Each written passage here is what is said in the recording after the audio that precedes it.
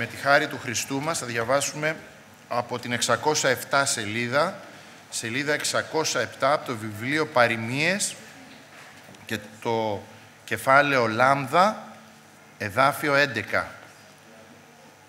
Σελίδα 607 με τη χάρη του Χριστού μας, Παριμίες, είναι το κεφάλαιο το 30, το Λάμδα, από το εδάφιο 11. Με τη χάρη του Χριστού μας. 607-11 Υπάρχει γενεά ή της καταράτε τον πατέρα αυτής και δεν ευλογεί τη μητέρα αυτής. Υπάρχει γενεά καθαρά εις τους οφθαλμούς αυτής, αλλά δεν είναι πεπλημένη από της ακαθαρσίας αυτής.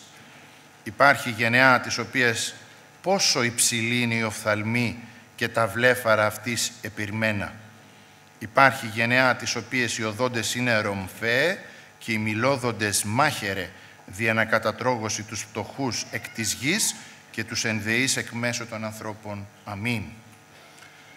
Ο Λόγος του Θεού, αδελφοί,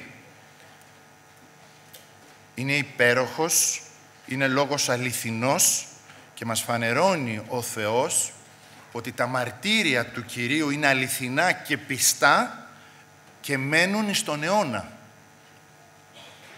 Βέβαια, για μας το Ευαγγέλιο του Ιησού Χριστού είναι ο λόγος της σωτηρίας.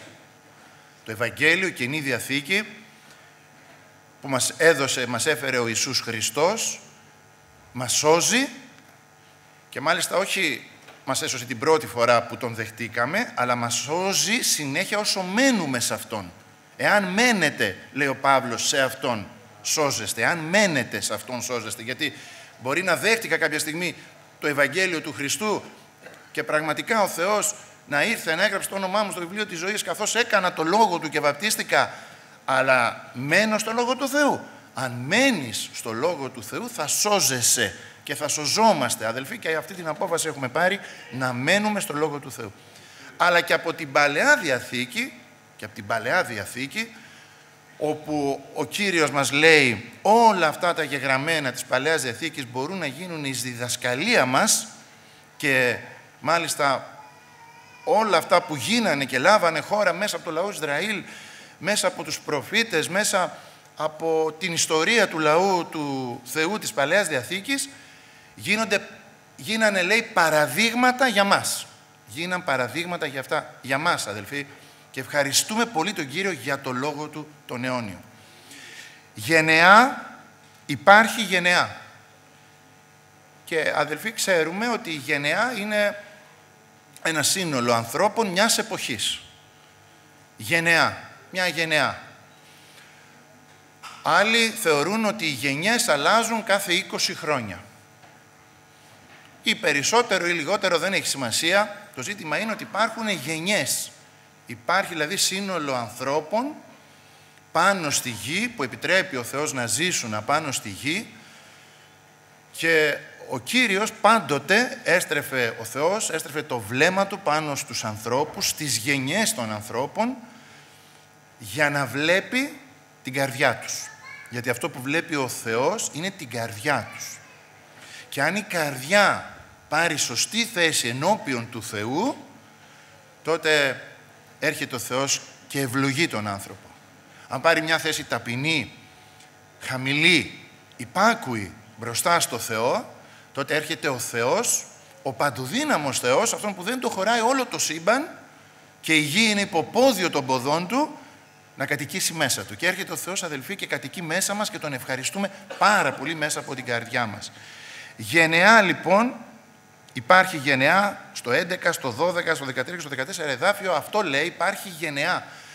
Και είναι φοβερό αδελφοί, ένα παράδειγμα μέσα από την Παλαιά Διαθήκη, όταν ο Ιησούς του Ναβί ήταν στο τέλος της διακονίας του, αφού ο Κύριος τον είχε αξιώσει να οδηγήσει το λαό Ισραήλ στη γη της επαγγελίας, μας λέει η Γραφή, εκεί στο τέλος του, του βιβλίου του Ιησού του Ναβί, και αναφέρει ο Λόγος του Θεού ότι ελάτρευσε ο λαός τον Κύριο όλες τις ημέρες του Ιησού και όλες τις ημέρες των πρεσβυτέρων ήτινες επέζησαν μετά του Ιησού και είδον πάντα τα έργα τα μεγάλα του Κυρίου όσα έκαμε υπέρ του Ισραήλ. Ελάτρεψε ο λαός του Κυρίου, λέει, όλες τις ημέρες του Ιησού, τον Κύριο. Και είδαν, είδαν, τι σημαίνει είδαν, έζησαν, εμπειρεύτηκαν δηλαδή πάντα τα έργα τα μεγάλα του Κυρίου, όσα έκανε ο Κύριος υπέρ του Ισραήλ. Και τελεύτησε ο Ιησούς, ο Υιός του Ναβίου, ο δούλος του Κυρίου, ηλικίας 110 ετών και έθαψαν αυτόν. Και πάσα έτη η γενεά εκείνη προσετέθηκαν στους πατέρες αυτών, όμως εδώ λέει και σηκώθη άλλη γενεά, αυτό το λέει στους κριτές, με ταυτούς ή της δεν εγνώρισε τον Κύριο. Ουδέ τα έργα τα οποία έκανε υπέρ του Ισραήλ. Δηλαδή σηκώθηκε μια άλλη γενιά, ήρθαν τα παιδιά των αδελφών αυτών, των ανθρώπων αυτών, των Εβραίων αυτών, των Ισραηλιτών αυτών, τα οποία όμως είχαν ένα χαρακτηριστικό. Δεν εγνώρισαν τον Κύριο. Δεν είδαν τα θαυμάσια του Κυρίου. Δεν ζήσανε τα θαυμάσια του Κυρίου. Να το πούμε ίσως ακόμα πιο σωστά, δεν εξητήσανε τα θαυμάσια του Κυρίου. Γιατί όποιος εξητάει τον Κύριο θα ευρεθεί από Αυτόν. Έτσι λέει η Γραφή. Όποιος ζητάει τον Κύριο, αυτός και θα βρεθεί από εκείνον, από τον Κύριο. Αλληλούια. Άρα όταν δεν εμπειρεύομαι, δεν έχω εμπειρίες με τον Κύριο, σημαίνει ότι δεν ζητάω από το Θεό, δεν εξητάω τον Κύριο. Και μια άλλη γενιά λοιπόν σηκώθηκε μετά από αυτούς, η οποία δεν γνώρισε τον Κύριο, ούτε τα έργα τα οποία έκανε και έπραξαν, λέει, στο, στους κριτές ο Κύριος, οι Ισραήλ, τα παιδιά τους δηλαδή, η άλλη γενιά, πονηρά ενώπιον του Κυρίου και ελάτρευσαν τους Βαλίμ. Και έστρεψα δηλαδή ο λαός του Θεού, αυτός που είχε εκλεγεί από το Θεό να είναι λαός Θεού, το βλέμμα του αντί να λατρεύει τον αληθινό Θεό, να λατρεύει τους Βαλίμ. Τα είδωλα δηλαδή, τους ψεύτικους θεούς. Ψεύτικοι θεοί υπάρχουν και σήμερα αδελφοί. Δεν ήταν μόνο τότε οι Βάλιμ, υπάρχουν και σήμερα ψεύτικοι θεοί. Γι' αυτό πρέπει η καρδιά μας και εμάς να είναι ετοιμασμένη ώστε το βλέμμα μας να είναι στραμμένο προς το Θεό, όπως είπα προηγουμένως, ώστε να μην στρέψουμε το βλέμμα μας στα είδωλα και στους Βάλιμ. Έτσι έγινε τότε στο λαό του Θεού.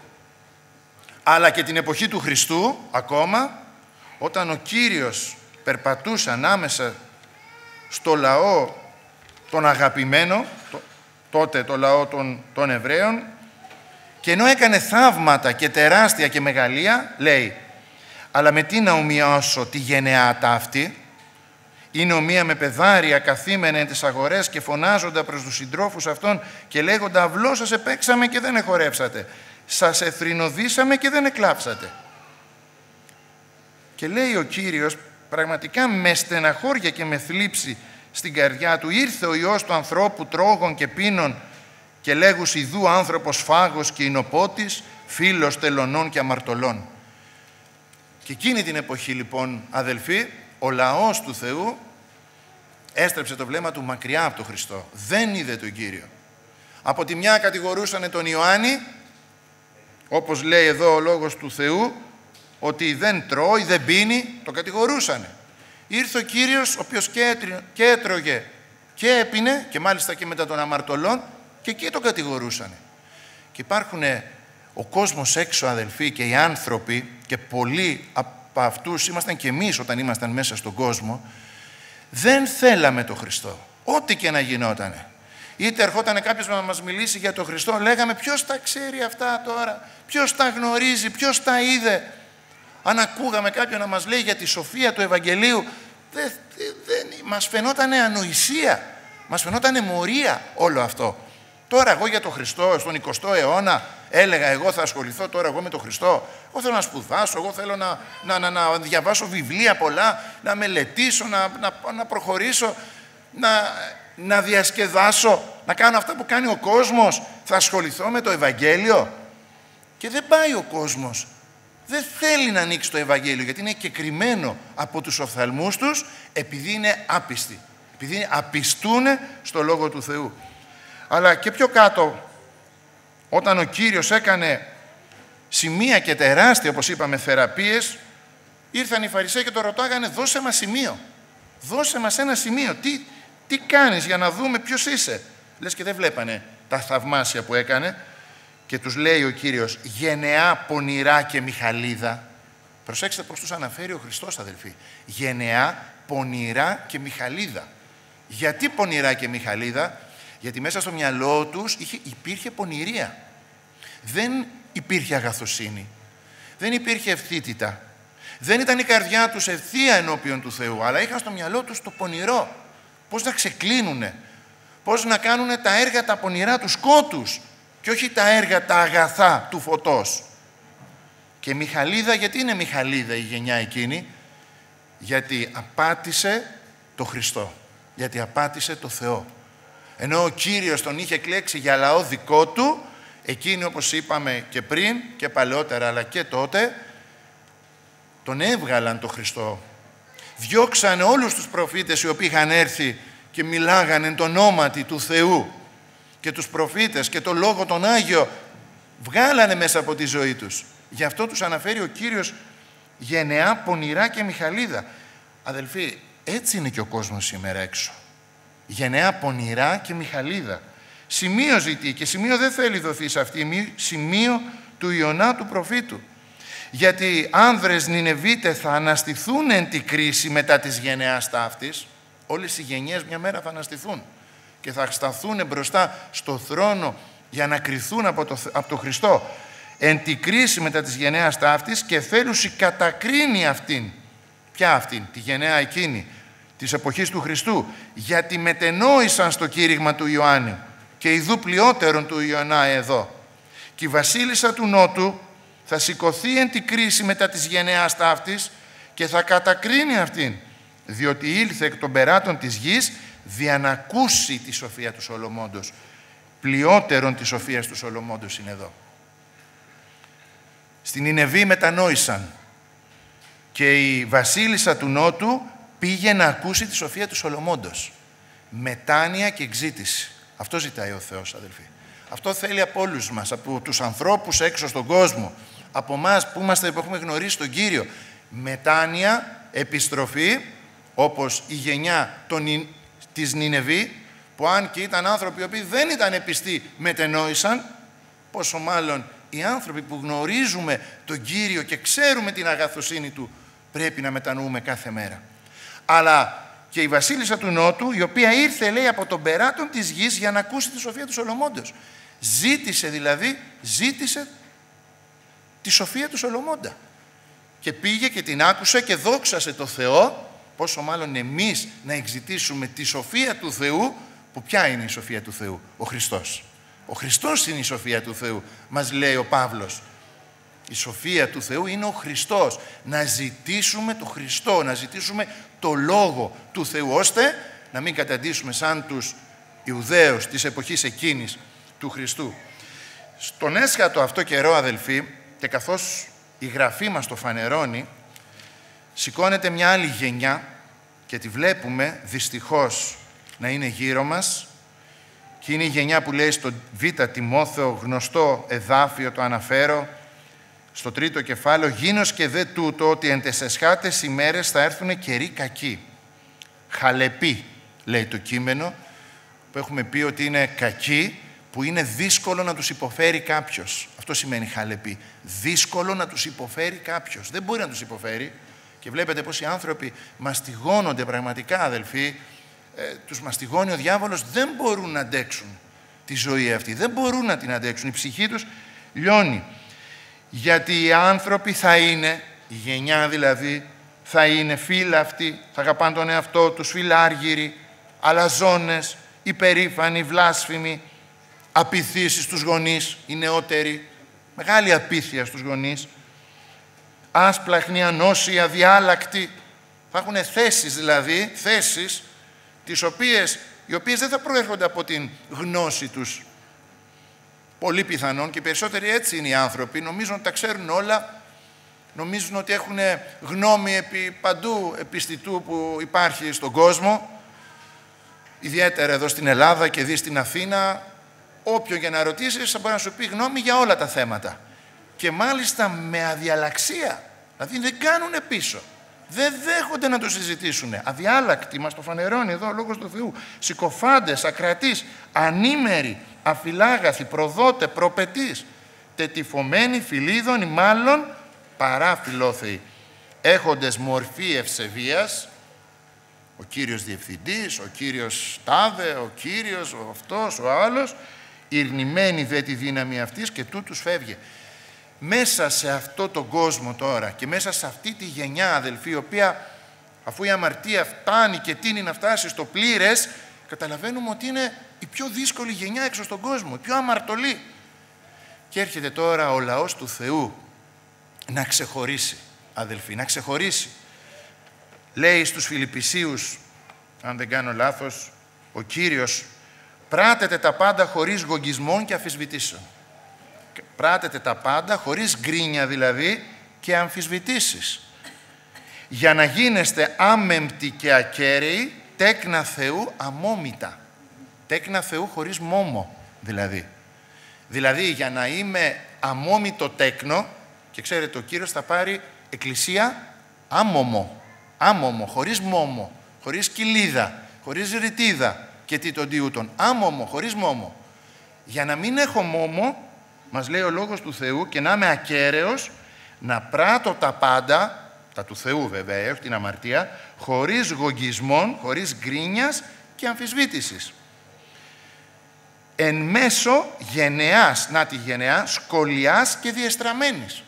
Να τη γενεά η σκολιά και διεστραμμένη, ιδιαίτερα στις μέρες μας. Σκολιά, σκολιά και διεστραμμένη. Δεν υπάρχει τίποτα το αγνό, δεν υπάρχει τίποτα στον κόσμο έξω που να θυμίζει Θεό μέσα στον κόσμο. Αλλά και τα νόμιμα των εθνών έχουν γίνει πλέον ενάντια στο Θεό κάνεις πράτης ενάντια στο Θεό και είσαι νόμιμος πλέον. Δεν, δεν υπάρχει κανένα πρόβλημα. Μεταξύ των οποίων λάμπετε ως φωστήρες εν το κόσμο, κρατούνται στο λόγο της ζωής. Αυτό είναι. Μέσα λοιπόν σε αυτή τη γενιά την έσχατη, η οποία και αυτή, όπως διαβάσαμε, είναι αμαρτωλή πλέον. Λέει ο Κύριος ότι εσείς, τα παιδιά τα δικά μου, τα οποία δεν είσαστε οι καλύτεροι των ανθρώπων, αλλά δεχτήκατε εμένα τον Ιησού Χριστό στη ζωή σας και έστειλα εγώ το Πνεύμα το Άγιο και έστειλα εγώ το Λόγο τον Άγιο, το Ευαγγέλιο που λέγαμε προηγουμένως, άλλαξε την καρδιά σας και τώρα πλέον δεν πράτετε τα θελήματα της σάρκας και των διαλογισμών. Προσέξτε, τα θελήματα της σάρκας, επιθυμίες και των διαλογισμών. Ό,τι έρχεται από το μυαλό μου θα το κάνω, θα το πράξω. Έτσι κάναμε στον κόσμο. Ό,τι πέραγε από το μυαλό μας, το κάναμε. Αν είχαμε τη δυνατότητα βέβαια, έτσι, το κάναμε. Αλλά τώρα λέει δεν πράττουμε τα θελήματα της σάρκας και των διαλογισμών. Ξαναλέω, γιατί, γιατί είμαστε ικανοί, όχι. Γιατί η ικανότητας, η ικανότητά μας είναι από τον Κύριο επειδή άλλαξε την καρδιά μας και μας έκανε νέα κτίσματα. Λάμπετε ως φωστήρες. Φανταστείτε δηλαδή αδελφοί, μέσα σε ένα σκοτάδι, το σκοτάδι του κόσμου αυτού, να μην ξέρεις πού να πατήσεις, πού να περπατήσεις και ξαφνικά να βλέπεις λάμπες. Να βλέπεις λα... λάμπες, να ανάβουν φώτα, φώτα μέσα στο σκοτάδι. Ή σε ένα δρόμο που είναι κατασκότεινος, εκεί στην Άνδρο, τώρα στο χωριό που είμαστε, δεν υπάρχουν φώτα το βράδυ, έτσι είναι ερημωμένα τα χωριά αυτά και το, το χωριό τουλάχιστον είμαστε εμείς είναι ερημωμένο και δεν υπάρχουν φώτα. Και το βράδυ για να μετακινηθούμε μέσα στα σοκάκια και να πάμε στα μονοπάτια βγάζουμε τους φακούς. Τώρα βγάζουμε και τα κινητά. Έχουν και τα κινητά τώρα φακού. Βγάζουμε τους φακούς για να βλέπουμε. Και βλέπεις ότι η νεολαία που είχαμε πάει τις προάλλες, έβλεπες ήταν 50 άτομα και είχαν, είχαν φωτάκια. Φωτάκια μέσα. Έτσι λάμπουν τα παιδιά του Θεού μέσα στον κόσμο. Σαν φωστήρες μέσα στον κόσμο. Και αδελφοί, πλέον μέσα στη γενιά αυτή που είναι σκολιά και διαστραμμένη όπως διαβάσαμε, ο άνθρωπος του Θεού, ο οποίος θα πάρει απόφαση να ζήσει αγία, καθαρή, χριστιανική ζωή, δεν υπάρχει περίπτωση να μην λάμπει σαν φωστήρας. Ακόμα και αν δεν ανοίξει το στόμα του, που ε, θα το ανοίξει. Αλλά μόνο με τη ζωή του, μόνο με, το, με τα ρούχα που θα φοράει, μόνο με τον τρόπο που θα περπατάει, μόνο με τον τρόπο που θα μιλάει, μόνο με το χαμόγελο που θα έχει, γιατί θα είναι χαμόγελο χαράς αληθινής που πηγάζει μέσα από το Πνεύμα το Άγιο. Μόνο με αυτά θα λάμπει σαν φωστήρας μέσα στον κόσμο. Και αυτή είναι η αλήθεια, αδελφοί, ότι μας καλεί ο Κύριος πλέον να γεμίζουμε με Χριστό, ώστε να φέρουμε αυτό το φως του Κυρίου στον κόσμο έξω. Να, να μην είμαστε σαν τη γενιά τη σκολιά και τη διαστραμμένη. Να μην μοιάζουμε σαν τη γενιά τη σκολιά και τη διαστραμμένη. Αλλά να δοξάζεται ο Κύριος. Ο Πέτρος αρνήθηκε τον Κύριο. Θυμάστε εκείνο το βράδυ, τρεις φορές. Η δούλη, η οποία, ε, μπροστά στην οποία τον αρνήθηκε, τον κατάλαβε, λέει, τον κατάλαβε από την εμφάνισή του. Α, λέει, εσύ μοιάζεις να είσαι σαν και αυτούς. Τους μαθητές εννοούσε. Και πιο κάτω λέει, η ομιλία σου, η ομιλία σου μοιάζει. Ήτανε Γαλιλαίος βέβαια, αλλά από την εμφάνιση και από τα λόγια μας θα καταλαβαίνουν οι άνθρωποι ότι είμαστε χριστιανοί. Και αυτό αδελφοί δεν θα είναι δική μας, λέω δύναμη, αλλά όταν η αποθήκη σου είναι γεμάτη με πνεύμα Άγιο, όταν έχεις μέσα σου Λόγο Θεού, γιατί έχεις πάει στο ταμείο σου και έχεις γεμίσει, όταν έχεις πάει στην εκκλησία και έχεις ακούσει το Λόγο του Θεού, όταν έχεις γονατίσει και έχεις έρθει σε επαφή και κοινωνία με τον αιώνιο Θεό διαπνεύματος Αγίου, ε, όταν θα βγεις και έξω στον κόσμο, τι θα βγάλει από την καρδιά, Λόγια Θεού. Μαρτυρία Χριστού. Έτσι δεν είναι αδελφοί; Αν όμως η καρδιά μου εμένα είναι γεμάτη από κόσμο, αν όλη μου η, η, η πώς να το πω, η εξήτηση μέσα στην ημέρα, είτε δουλεύω είτε δεν δουλεύω, είτε έχω μέρη είτε δεν έχω, είτε είναι τα πράγματα του κόσμου, αντλώ ειδήσεις, αντλώ πληροφορίες συνέχεια για τον κόσμο, από τον κόσμο, ε, όταν θα ανοίξω το στόμα μου, τι θα βγάλω; Κόσμο θα βγάλω. Και όταν η εμφάνισή μου, ποια θα είναι, η εμφάνισή μου ποια θα είναι. Κόσμος θα είναι και η εμφάνισή μου. Ξέρετε κάτι, όσο πιο πολύ μπαίνει το παιδί του Θεού μέσα στα, στις μόδες, σε όλα αυτά που υπάρχει στον κόσμο, τόσο θέλει να μοιάσει στον κόσμο. Και αν ο κόσμος, η εμφάνισή του δεν είναι καλή, δεν είναι χριστιανική, που δεν είναι, έτσι, έχουν φτάσει σε σημεία πολύ άσχημα, να μην καλύπτουν το σώμα τους, αλλά να το επιδεικνύουν και το παιδί του Θεού όταν βλέπει κόσμο, κόσμο θα βγάλει και με την εμφάνισή του. Γι' αυτό χρειαζόμαστε, αδελφοί, τον Κύριο, χρειαζόμαστε τη δύναμη του Πνεύματος του Αγίου και το Λόγο του Θεού. Εδώ βέβαια μας λέει ο Κύριος για τη γενεά η οποία καταράται τον πατέρα της και δεν ευλογεί τη μητέρα της. Υπάρχει γενεά η οποία καταράται τον πατέρα της και δεν ευλογεί τη μητέρα της. Είναι οι νεότεροι, έτσι, αλλά μην το πάρουμε μόνο για τους νεότερους, το πάρουμε για όλους. Για όλους μας. Τι σημαίνει καταράται τον πατέρα της και δεν ευλογεί τη μητέρα της, δηλαδή τους ανθρώπους οι οποίοι τους τον έφεραν στον κόσμο, τους καταράτε. Ενώ ο Λόγος του Θεού τι μας λέει για τα παιδιά, τα παιδιά να υπακούετε στους γονείς σας, γιατί θα σας γίνει καλό. Και μάλιστα αυτό είναι επαγγελία και θα είσαστε μακροχρόνοι λέει επί της γης, γιατί αυτό είναι εντολή πρώτη με επαγγελία. Είναι εντολή η οποία έχει και επαγγελία. Τίμα τον πατέρα σου και τη μητέρα. Και εδώ βλέπετε, ενώ στην Παλαιά Διαθήκη λέει τίμα τον πατέρα σου και τη μητέρα, εδώ ο Παύλος λέει τα παιδιά υπακούεται στους γονείς. Δηλαδή η τιμή, η τιμή προς τον πατέρα και στη μητέρα περνάει και μέσα από την υπακοή. Όχι μόνο, έτσι, όχι μόνο. Έτσι, η τιμή είναι να, με τα, αν έχει πρόβλημα ο πατέρας μου, η μητέρα μου, οικονομικό να τον βοηθήσω, να του συμπαρασταθώ στη δύσκολη στιγμή, αλλά και να τον υπακούσω. Και αυτό είναι μέσα στην τιμή. Όταν μου λέει βέβαια κάτι εν κυρίω, έτσι, όταν μου λέει κάτι εν κυρίω. Πόσο σημαντικό είναι το παιδί του Θεού να διαφέρει από τα παιδιά του κόσμου. Έτσι. Αλλά ποια άλλη είναι η περίπτωση που καταράται κάποιος τον πατέρα του ή τη μητέρα του, όχι μόνο τον πατέρα του το γήινο, αλλά και τους ανθρώπους οι οποίοι κοπιάζουν γι' αυτόν. Δηλαδή, θα λέγαμε τους εργάτες μέσα στην Εκκλησία, το δούλο του Θεού που φέρνει το Λόγο του Θεού, τον ποιμένα, τους πρεσβυτέρους, τους διακόνους. Πόσο σημαντικό είναι αδελφοί να τιμάμε τους ανθρώπους που κοπιάζουν στο έργο του Θεού. τις διακονίες, τη διακονία που έχει βάλει ο Κύριος μέσα στην Εκκλησία. Ο Κύριος μας καλεί να τιμάμε τους ανθρώπους αυτούς που όπως λέει ο Απόστολος Παύλος αγωνιούν υπέρ των ψυχών μας και κοπιάζουν υπέρ των ψυχών μας. Είναι τόσο σημαντικό αδελφοί ώστε να προσέχουμε μη γίνουμε όπως ο κόσμος ο οποίος οτιδήποτε είναι πάνω από αυτόν, δηλαδή πατέρας, μητέρα, ε, το αφεντικό στη δουλειά, ο στρατηγός ή ο διοικητής στο στρατό, ε, το αφεντικό οπουδήποτε, ο πρωθυπουργός, ο πρόεδρος της αξιωματικής αντιπολίτευσης και η όλη Βουλή εναντιώνονται, εναντιώνονται στις αρχές και στις εξουσίες που ο Θεός έχει βάλει. Εναντιώνονται σε κάθε αρχή και σε κάθε εξουσία. Το παιδί όμως του Θεού δεν εναντιώνεται, προσεύχεται. Προσεύχεται για όλους αυτούς.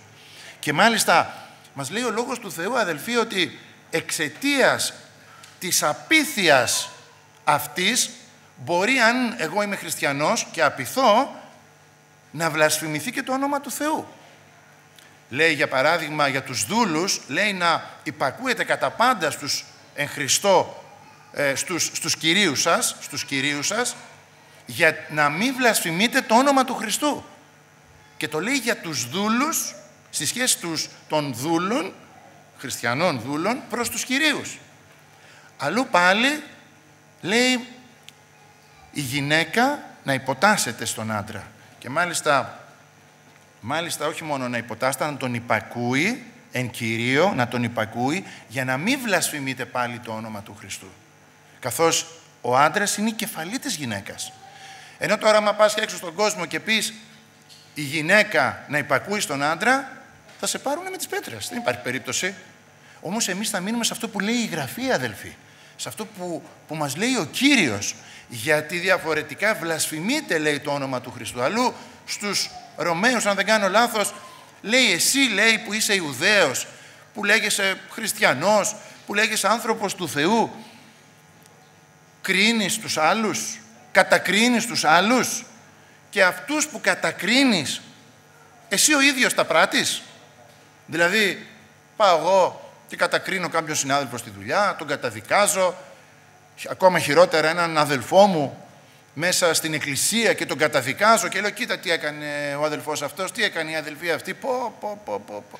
Και εγώ που νόμιζα πως ήταν καλός αδελφός, και εγώ που νόμιζα αυτό και εγώ που νόμιζα εκείνο, και εγώ κάνω χειρότερα. Και εγώ μπορώ να κάνω χειρότερα. Και δεν κοιτάμε τον εαυτό μας και δεν, κοιτάμε, και δεν κοιτάω το δοκάρι που έχω μέσα στο μάτι μου, αλλά κοιτάω το μικρό ξυλαράκι που είχε ο αδελφός μου. Αντί να προσευχηθώ για τον αδελφό μου και να πω «Κύριε, σε παρακαλώ, είδα ένα μικρό ξυλαράκι. Να δω και το δοκάρι, σε παρακαλώ, κύριε. Φανέρωσέ μου τι δοκάρια έχω. Γιατί μπορεί να μην έχω ένα, να έχω πολλά, αδελφοί. Είχα πάει μια μέρα στον κύριο και λέω: Κύριε, φανέρωσέ μου το δοκάρι. Και δεν μου φανέρωσε ένα, μου φανέρωσε πολλά, αδελφοί. Και λέω περισσότερα. Βοήθησε με, κύριε, να καθαρίσω, να καθαρίσεις εσύ τα δοκάρια που έχω στα μάτια μου, ώστε να δω το ξυλαράκι που έχει ο αδελφός μου για να τον βοηθήσω να το βγάλει με αγάπη με αγάπη. Γιατί αν δω το ξυλαράκι του αδελφού μου ως δοκάρι και εγώ δεν δω το δικό μου δοκάρι, δεν υπάρχει περίπτωση να μπορέσω να τον βοηθήσω, μάλλον θα τον σκανδαλίσω. Υπάρχει γενναία καθαρά στους οφθαλμούς αυτής, αλλά δεν είναι πεπλημένη από τις ακαθαρσίες αυτής. Αυτό, αδελφοί, θεωρώ ότι είναι πολύ σοβαρό και σημαντικό. Καθαρά στους οφθαλμούς της, αλλά δεν είναι πεπλημένη από την ακαθαρσία της. Δηλαδή, θεωρώ ότι αυτό δεν είναι αμαρτία. Ακούω το Λόγο του Θεού. Τον βλέπω το Λόγο του Θεού γραμμένο. Τον ακούω να, να, ε, από τον άμβονα, το Λόγο του Θεού. Και αμέσως, για οποιονδήποτε λόγο, είτε θέλεις γιατί δεν μπορώ να τον πράξω, είτε θέλεις για οποιονδήποτε λόγο, λέω αυτό δεν είναι αμαρτία. Και βγάζω εκείνη την ώρα και κρίνω το Λόγο του Θεού κρίνω εκείνη την ώρα γιατί γίνομαι κριτής του Λόγου του Θεού. Και μάλιστα αυτό που εγώ θεωρώ ότι δεν είναι αμαρτία, πάω και το μεταφέρω στους γύρω μου. Ξέρεις κάτι, αυτό δεν είναι αμαρτία, μην, μην του δίνεις σημασία. Ποιος το λέει αυτό, πώς θα το κάνω αυτό; Και λέει η Γραφή ότι είναι καθαρά στους οφθαλμούς της, αφού θεωρώ ότι δεν είναι αμαρτία, δεν πάω να, στον Κύριο να με καθαρίσει από την αμαρτία μου και παραμένει αμαρτία. Γιατί αν εγώ θεωρώ ότι δεν είναι αμαρτία, δεν μετράει το τι είναι αμαρτία και τι δεν είναι αμαρτία. Αυτό που μετράει είναι τι λέει ο Χριστός για το τι είναι αμαρτία και τι δεν είναι αμαρτία. Γι' αυτό κάνουμε καλά να βλέπουμε μέσα στο Λόγο του Θεού. Και ακούμε το Λόγο του Θεού και όταν ακούμε το Λόγο του Θεού λέμε είναι γραμμένο μέσα στη Γραφή. Αλληλούια. Είναι. Είναι. Είναι αλήθεια. Δεν θα βγάλω δικά μου διατάγματα. Δεν θα βγάλω δικές μου διατάξεις και να θεωρήσω ότι λάθος τα λένε. Τα δικά μου, το δικό μου είναι το σωστό. Αυτό που λέω εγώ είναι το σωστό γιατί τότε είμαι μια γενεά καθαρά στους οφθαλμούς μου, αλλά δεν είμαι πεπλημένος από την ακαθαρσία αυτής. Και όταν θα έρθει εκείνη η ώρα που ο Κύριος θα παραλάβει την Αγία Εκκλησία, εγώ δεν θα είμαι καθαρισμένος και θα νομίζω ότι είμαι καθαρός. Υπάρχει γενεά της οποίας πόσο υψηλή είναι η οφθαλμή και τα βλέφαρα αυτής υπηρμένα. Πραγματικά, αδελφοί, αυτό που διαβάσαμε πριν, η γενιά στον κόσμο αυτή, η οποία η περηφάνεια είναι πολύ μεγάλη, όπως και διαβάσαμε, πόσο υψηλή είναι η οφθαλμή και τα βλέφαρα αυτής υπηρμένα. Ταπεινοφροσύνη δεν υπάρχει. Δύσκολα θα βρεις ανθρώπους ταπεινό, ταπεινόφρονες. Και ίσως κάποιοι οποίοι, ναι μεν είναι ταπεινοί, αλλά λόγω καταστάσεων, μπορεί κάποιος να έχει χάσει τα λεφτά του, να έχει χάσει τη δουλειά του, ε, να έχει διαλυθεί η οικογένειά του και εκείνη τον καιρό, αυτό το διάστημα να είναι να έχει ταπεινωθεί, αλλά αυτό είναι λόγω της καταστάσεώς του. Αλλά ταπεινόφρον, δηλαδή να έχω το φρόνημα το ταπεινό, δηλαδή η ζωή μου σε οποιαδήποτε διάστασή της, είτε έχει να κάνει με τον κόσμο έξω, είτε έχει να κάνει με την Εκκλησία, είτε έχει να κάνει με τους αδελφούς, είτε έχει να κάνει με το Θεό, είτε έχει να κάνει με, με τους συγγενείς μου, είτε έχει να κάνει με τους γονείς μου, είτε έχει να κάνει με τα παιδιά μου, το φρόνημα να είναι ταπεινό. Να είναι το φρόνημα αυτό του Χριστού, αδελφοί. Ο οποίος εν μορφή Θεού υπάρχον δεν ενόμισε αρπαγή του να είναι ίσα με το Θεό. Αλλά εκένωσε τον εαυτό του. Και αυτό είναι το μυστικό, αδελφοί. Να εκενώσω τον εαυτό μου. Αυτό πρέπει να πάω εγώ στην προσευχή να το κάνω. Εκένωσε τον εαυτό του. Και εμείς πρέπει να εκενώνουμε τον εαυτό μας. Γιατί καμιά φορά έχουμε την εξουσία και αισθανόμαστε ότι είμαστε κάποιοι και γεμίζουμε με το εγώ μας. Και αυτό αδελφοί φαίνεται. Φαίνεται. Μου είχε πει κάποτε η γυναίκα μου, πρόσεχε γιατί είσαι υπερήφανος. Έλα που είμαι υπερήφανος. Και εκείνη την ώρα μου λέει ο Κύριος, τώρα που το είπες, έτσι είσαι. τώρα που είπες ότι δεν είσαι, είσαι. λέω, πω, πω, πω, πω, πω, πω. Πω, πω, λέω, πόσο σημαντικό είναι αδελφοί το εγώ μας, αυτό που έχουμε μέσα μας, να εκενώνουμε τον εαυτό μας, να αδειάζουμε τον εαυτό μας, αδελφοί. Εκένωσε τον εαυτό του, εκένωσε τον εαυτό του από τη δόξα, είχε τη δόξα που του είχε δώσει ο Θεός, ως λόγος Θεού. Θεότητα δεν την έχασε ποτέ και έγινε άνθρωπος.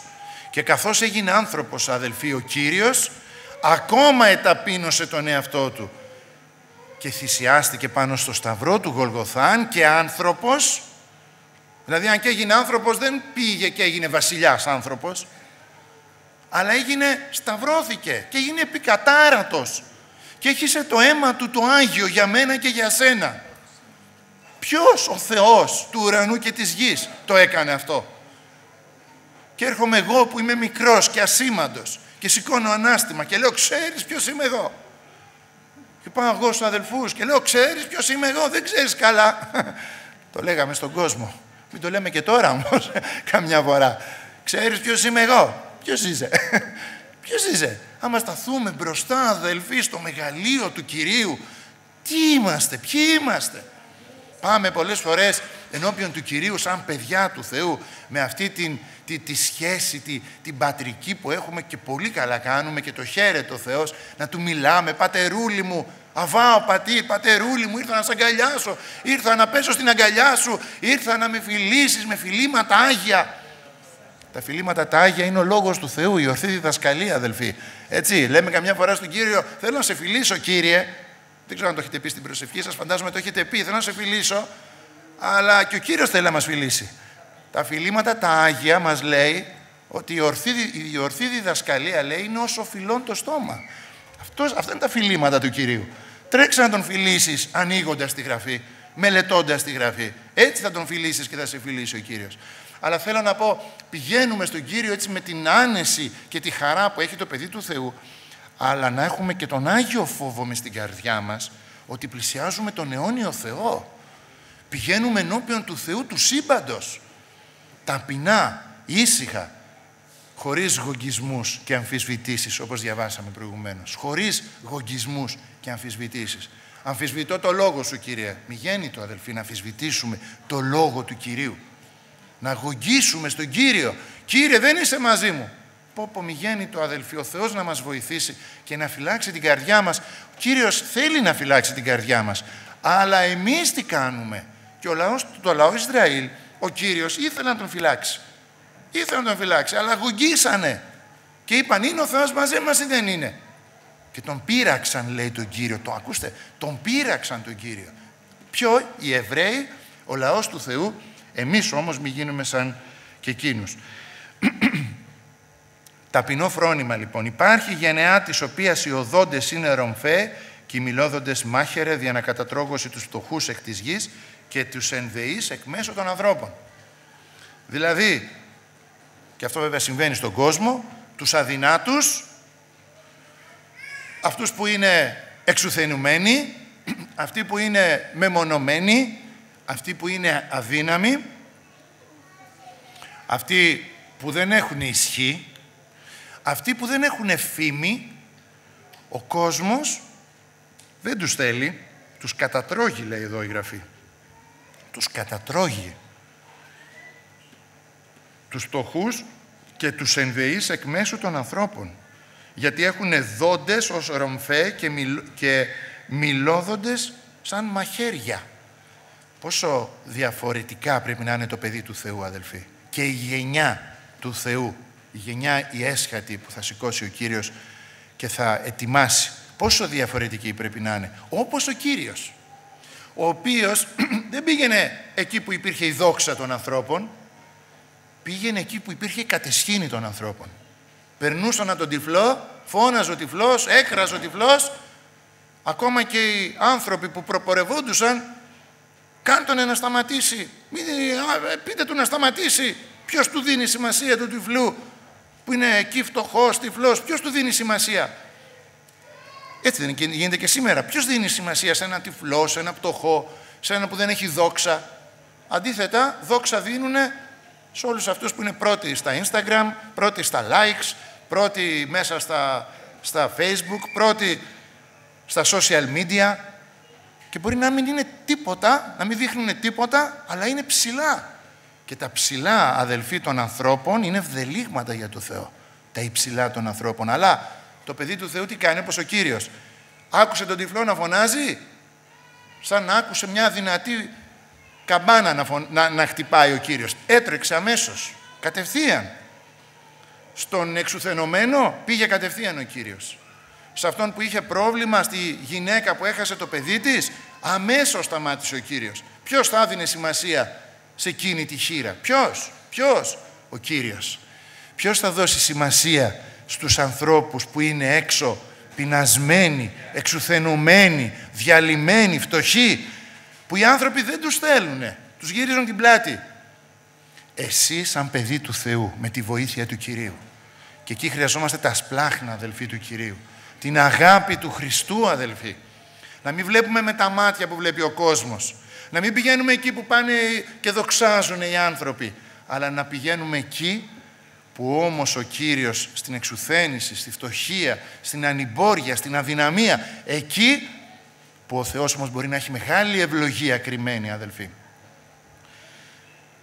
Μέσα σε αυτές τις γενιές, λοιπόν, σε όλες τις γενιές αυτές που διαβάσαμε, αδελφοί, και ιδιαίτερα φωτογραφίζουμε με αυτές τις γενιές τη γενιά των ανθρώπων που ζούμε του κόσμου αυτού και είπαμε βέβαια εμείς να μην μοιάσουμε σε αυτές, ετοιμάζει ο Κύριος, όπως ανέφερα και προηγουμένως, μια άλλη γενιά την οποία θέλω να τη διαβάσουμε στον 24 ψαλμό για λίγο, στην 522 σελίδα, όποιος θέλει να τη δει, δύο-τρία εδάφια. Την ονομάζει ο Κύριος η γενεά των εξητούντων αυτών.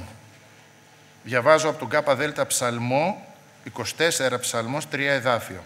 Σελίδα 522.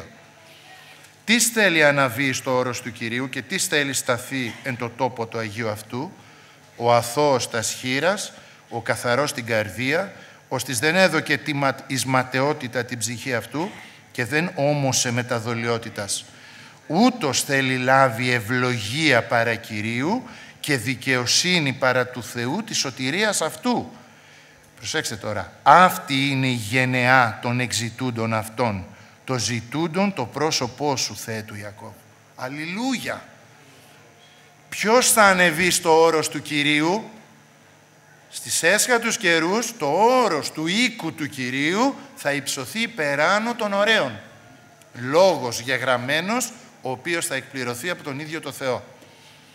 Πάνω λοιπόν στο όρος του Θεού, το οποίο θα ανέβει πάνω από όλα τα άλλα όρη, βρίσκεται ο οίκος του Κυρίου, η εκκλησία δηλαδή του Θεού του ζώντος, που είναι ο στήλος και το εδραίωμα της αλήθειας.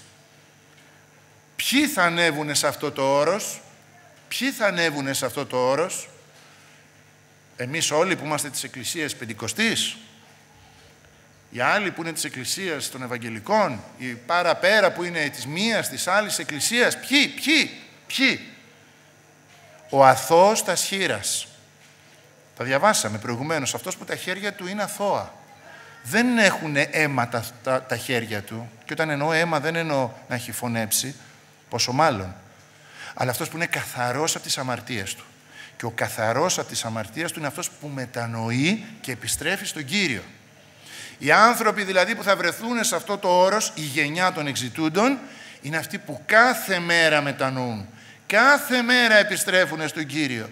Κάθε μέρα κάνουν καινούρια αρχή με τον Ιησού Χριστό.